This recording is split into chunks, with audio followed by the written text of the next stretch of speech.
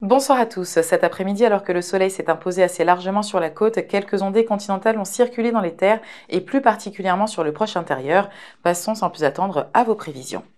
L'équateur météorologique d'Alizé restait peu actif à l'est de la Guyane, vers le 4 degrés nord, pilotant sur notre territoire un flux peu instable, mais ce dernier devient temporairement plus humide demain. Côté précipitation, nous avons relevé 4,6 mm à Saint-Georges et 2 mm à Cayenne.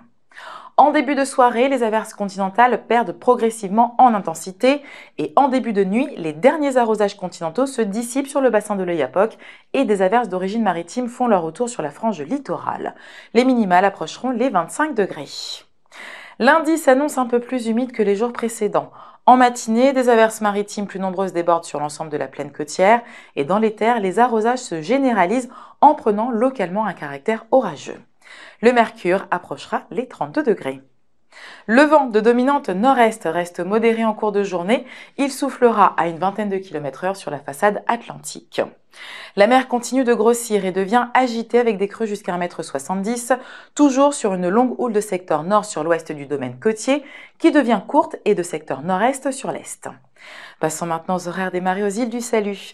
Les marées basses sont prévues à 6h29 et 19h35, les pleines mers à minuit 45 pour une hauteur de 2,40 m et midi 50 pour une hauteur de 2,70 m.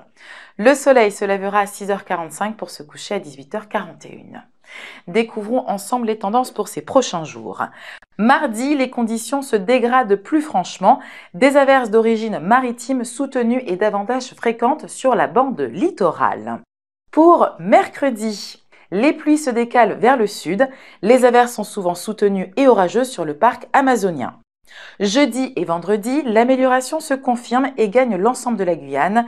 Des arrosages subsistent principalement sur le sud du parc amazonien en cours d'après-midi, mais le soleil s'impose assez généreusement, notamment sur une large moitié nord du département.